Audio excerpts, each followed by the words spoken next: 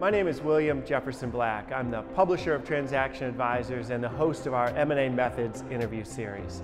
Welcome to the latest edition. I'm pleased to be here today with Andrew Gratz, the Associate General Counsel at LyondellBasell. And this is part of our M&A interview series where we discuss and debate techniques and methods in mergers and acquisitions and the structuring of complex corporate transactions. Um, this conversation is coming to you from the Wharton San Francisco campus where we've just wrapped up a two-day conference on M&A planning, structuring, and execution. And it's part of our M&A conference series, which also takes place in New York at Fordham Law School and in September at the University of Chicago. So Andrew, if you could give us, a, first of all, an overview of the company, and then let's talk about your role. Sure, William, first of all, thank you for having me. Uh, LyondellBasell was formed at the end of 2007 and about a year later filed for bankruptcy, still today one of the largest bankruptcies in US history. After 15 months, we emerged, and um, I joined a few months before we filed for bankruptcy, so I had that um, incredible experience, which I'm sure we'll talk about a, a little later. Today, after taking on numerous roles at the company, uh, I am today the Associate General Counsel for Commercial and Strategic Transactions which means my team is responsible for all the mergers, acquisitions, divestitures, joint ventures globally, and all of our commercial sales in the Americas. Now, I understand the Financial Times uh, recognized the team's success and contribution to partnering well with the business. Um, quite a prestigious recognition, I think. Thank, thank you. No, it was a uh, an honor that we were very happy to receive and very humbled to receive, and it's a, it's a credit to the entire team. So let's start uh, uh, talking about the team and, yeah. and, the process because one of the things that I've heard you talk about at our M&A conferences is the partnership with the business and the legal team and how you found that process to be effective when there's close collaboration. But let's talk more specifically, how, how does that really work and where are the touch points that you find are most critical? No, thank you for the question. It's interesting because before I went to law school, I ran political campaigns. And throughout a campaign, you have one goal and one goal only to get the candidate elected.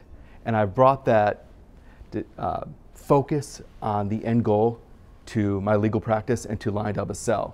And so the starting point is what are we trying to accomplish? What is the goal of the transaction? Um, the team is, hears me say all the time, if you don't understand the why, you can't effectively develop the how. And so to ensure alignment between business, legal, tax, finance, we sit down and figure out why are we doing this transaction. And every time we meet, we focus on that over and over again. Are we still on the same path? Does the transaction still make sense for our strategy? And how are we negotiating, discussing, engaging with this, with this particular transaction to advance the company's strategic goals? Now, the balance, though, of risk and reward from the transaction is such a natural tension that exists between you and the business team. You know, clearly they have a business objective they're trying to advance, and you have a, uh, an important responsibility to the shareholders and to the board to protect the organization from risk. It, walk us through some of the ways that that relationship has been uh, organized and how it works well, and what, what's been uh, really optimal in terms of that relationship balancing risk and reward. Now, I'm glad you described it as a natural tension, and I would say it's a healthy one. That the business has one goal, has the reward in mind, and legal has the risk in mind. Lawyers see risk everywhere. It's we're built that way. We're, we're designed that way. Mm-hmm. But you know what? The average lawyer will only see risk, and the average business person will only see reward. And so, what we have at LyondellBasell, and what I encourage every team to have, are excellent business, and legal team members because the excellent team members see the risk and the reward. And that's where it comes down to having a team in place that appreciates the risk while striving to achieve that reward. And we constantly have that discussion of are we striking that right balance? Sure. And that is a tension that um, sometimes leads to, I'll say, animated conversations and some disagreements, but a healthy respectful difference that we, because we both have the same goal in mind sure. to ensure the company sure. succeeds. So layering in a, another level of tension is the time pressure. Yeah. and the time pressure to get deals done when you're competing in a competitive auction, when you're competing with financial buyers that have a very low threshold of, uh, risk um, uh, diligence. And as you're moving through a deal cycle in the real world, not just the theoretical that we might discuss at, at the Wharton campus here, uh, there are any number of agreements that need to be diligenced and studied for risk. Uh, how do you find that that process can balance the comprehensive desired nature of diligence and yet the tension to move very very quickly and get the deal done you have you obviously have to prioritize uh, my view is diligence is key. Big deal small deal it doesn't matter. You under you have to understand what you're buying. Now you you've pointed out an ex, you pointed out an excellent uh, concern. Time crunch. How do you look at every single agreement? I go back to you know something we talked about a little earlier. What is the goal of the transaction? If the goal of the tra- that should be driving diligence, that should be driving the, the negotiations. So, for example, if the goal of the transaction is to acquire a certain IP, well, if the target owns a few warehouses, I really don't care maybe how many square feet the warehouses may be. Um, if the, you know, I was in Disneyland recently, and it was clear Disney, when they were buying LucasArts, cared if they could sell Darth Vader toys. They didn't care if Lucasfilms had a fleet of Mercedes or Fords. What is the goal of the transaction? So if it's an IP transaction, I'm scrubbing those licenses, making sure we're fully protected. If the goal is uh, to acquire cer- certain key personnel, what, what their employment looks like? Employment agreements look like? Do they have covenants not to compete? How long can I ensure these employees stay with uh, the acquirer? the strategy drives the diligence. And so when you have to prioritize, you just come back to the strategy, and that will guide you. So focusing on the strategy and focusing on the key value drivers sounds like the, the, you know the first step forward. But of course, the one that can never be left behind is the compliance obligations, the anti-corruption diligence, and, and obviously you bring expertise in that area as well, and have pretty deep experience in dealing with compliance and anti-corruption uh, risk. Um, how has that process changed? Because I think the scrutiny is quite a bit higher these days. Very right? much so. Uh, you look at the fines recently multi billion dollar fines for anti corruption, antitrust, data privacy, all areas I'm very familiar with. So that is also an issue we are constantly uh, um, looking out for, especially as we're looking at emerging markets. Well, certain emerging markets have anti corruption issues. Have we addressed that risk? Have we fully vetted our potential partners? Because once, you know, through an acquisition or a joint venture, there is certain successor liability. And we need to be, uh, we need to fully appreciate and understand what we're getting ourselves into. Antitrust is another example. Um, the European Union and other um, countries of the world and regions of the world are getting are, are becoming far more um, rigorous mm-hmm. in how they look at certain transactions and concerns whether or not monopolies or duopolies are forming. And so we need to be aware is there a risk that we may have to divest assets? And if we have to divest assets, are those the assets we're actually looking to acquire? And of course, data privacy, which um, is not going away. You see the issues Facebook, uh, Google, and others are facing. Well, every company that does business in Europe has personal data, whether it's their employees, their customers, their vendors. We need to be comfortable that the target has handled that data appropriately and consistent with our values. Thank you to our underwriter Intralinks. From IPOs to spin-offs, restructurings, and mergers and acquisitions, Intralinks provides a best-in-class platform for your next transaction. The depth of the experiences that you've had in looking at a lot of deals and ultimately consummating a number of deals, um, has probably led you to have a little bit of a personal due diligence checklist, maybe some items that don't appear in the standard um, playbook for diligence, but some that you found in your experience are really unique and important to identify. Could you share a few of those with us? Absolutely. Um, the, th- the issue that I th- think unfortunately gets forgotten is culture. So when we're looking at a target, you, you have the financial diligence, the legal diligence, the tax diligence. But will these employees understand our culture? Will they value safety the way we value safety? Will they value operational excellence the way we value it? Those are issues we need to be concerned about because the day after closing, these employees are running our plants. These employees are representing our company, our reputation. And so I'm a very big believer and advocate. We need to understand the culture of the target and whether or not they will fit in to what we believe and our values.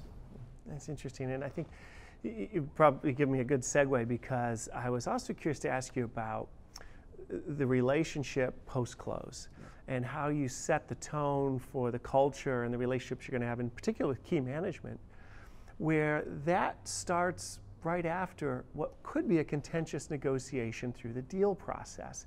And you talked earlier about engaging the business in early in the process and in the negotiation. But a contentious deal negotiation could lead to a strained culture post close. Uh, do you insulate the business from some of those issues? Do you play the tough uh, role sometimes to, to ensure a better post close environment and relationship?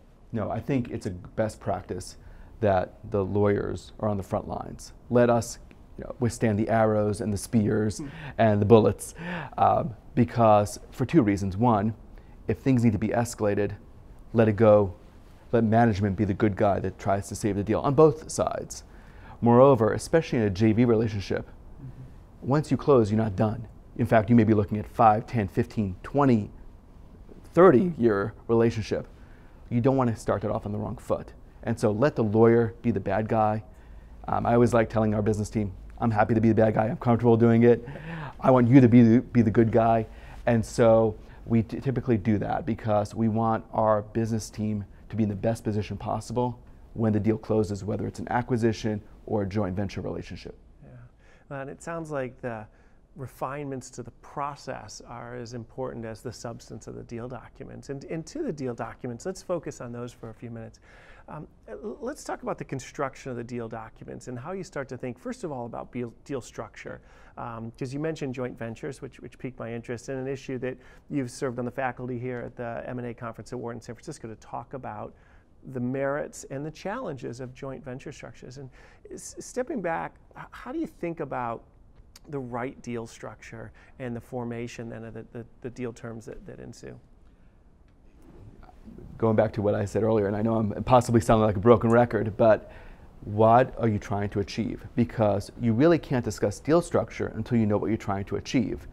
And so if you're looking to uh, have access to a market, well, a JV may be, be, your, be, be your best vehicle. But if you're looking to just extract money, then maybe a JV is not um, and maybe investing in that um, in that country or in that region may not be your best uh, way to advance that strategic goal. So that's really what it comes down to. What which vehicles? Because there are many. There there is the typical JV where you form an entity, a partnership. There's um, in our business offtake agreements, feedstock agreements, different agree, uh, relationship agreements whereby we can sort of dip our toes in the water see what's see how um, we can develop a stronger relationship with this other party, see if they're reliable, see if they share our values, and then as time goes by, we can have a more um, rigorous discussion on whether or not we want to strengthen that relationship or abandon it. You know, a big focus of what we aim to do with transaction advisors and being a, a journal on transaction process and, and, and methods is look at where the theoretical uh, best practice exists, where the real world exists, and how one might bridge those gaps and considerations. Uh, where are the what are the deal points that you find most often deviate from what would be ideal in the best practice scenario to what really gets negotiated out in, in the real world? Where are the biggest areas of divergence? I my really everything but price, and I say that because um, you I think it's pretty typical for the corporate development teams to be very focused on price, as well they should be. But the agreement isn't one page. And the, even the issues outside the agreement are not contained in that one page. The culture issues I just highlighted. What protections does one have after closing? And it starts with diligence. Do we understand what we're buying? Because even if the agreement has all the protections in the world, you have to go to court to enforce it you may have rights, but you have the remedy. Mm-hmm. And so what I what I try to um, discuss with my team is let's figure out what we're buying. Let's pretend the agreement doesn't exist. are we comfortable acquiring this asset, this business, assuming no, there are no legal protections? Because it may, depending on the jurisdiction or the, or the um, issues involved, it may take 10 to 15 years to get that money back after you've spent hundreds of thousands of dollars on legal fees. So let's be comfortable with the asset we're buying and at that point discuss price because other, other issues sort of fall by the wayside. It's such an interesting framework to, to set aside the agreement entirely as almost a theoretical exercise, but a very applied and practical one because it gets you anchored around the value drivers of the deal. That's, that's pretty interesting. I don't think we've, we've come across anyone using that, that method. Um, and can you t- talk, talk as well about when you look at a deal at the onset, are, are you able to anticipate the tension points in a way that informs the way they're discussed at the onset? Or does each deal negotiation take a totally separate and unique uh, path in which it's hard to anticipate until the first responses come through where the tension points will be? From a legal perspective, you have the typical tension points indemnification, warranty, but every deal has its own unique issues. If you're acquiring a family owned business, that CEO, that founder, takes it personally. This is his company, this is her baby. And so, how you address those me issues, uh, how you address the employees that CEO may have hired 20, 30 years ago, and how you treat them with respect is going to be different than the global, uh, the national conglomerate. And so you have to come to each, uh, approach each deal and understand its unique qualities. Right.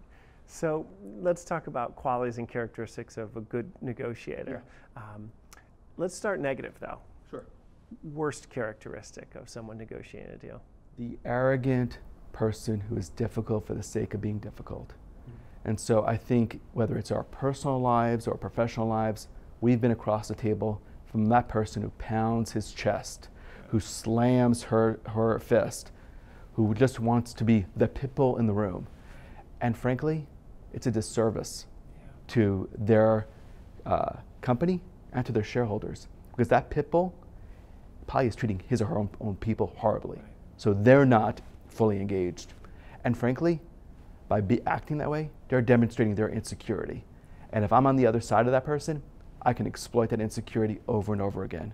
And so I try to avoid those people. That's interesting, yeah. uh, well, let's flip the question now. Um, what about characteristics of an effective deal negotiator? The calm in the storm. The person who is professional. Under, look, deals are late nights, long hours, high stress, but I want the person in the room doesn't get bothered, doesn't get flustered, just understands this is why I'm here, this is what I'm here to achieve, doesn't take anything personally, and treats everyone, whether it's on his or her side of the table or across the table, with professionalism and respect. It's interesting. Um, to that, as you get to the end of, of those days and nights at the table, yeah. Um, t- tell me about it throughout as you reflect on your career. Best compliment as you wrapped up the deal that uh, was ever uh, shared with you? When both sides told me they got what they wanted. Interesting. Yeah. Both sides. Both sides. I didn't expect that was going to be your answer. Yeah. That's a great best compliment yeah. ever. All right, another fun one. Best closing dinner. So I mentioned a few minutes ago the bankruptcy.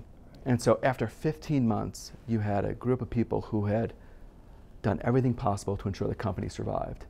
And so at this bankruptcy dinner, still today the largest one I've ever attended, close to 100 people, because we wanted to recognize everybody. Why be exclusive when you're celebrating success? And so it's still today uh, uh a, a, a, night I have fond memories of. That's interesting. You've, uh, you've shared some, some interesting wisdom with us. Let me, let me just try an open ended question. Um, if you finish this uh, sentence for me, sure. always remember the deal is not the end, it's a means to the end. Interesting, interesting. I think we get so focused on the deal process and the deal terms that uh, it's probably rare that we step back and have the perspective that the end goal isn't just to close right. and to win, but it's really to add value with the business. So I think that's a great way to finish the conversation. Thank you, so, you much. so much for your thoughts. Really appreciate it. it. Thank you.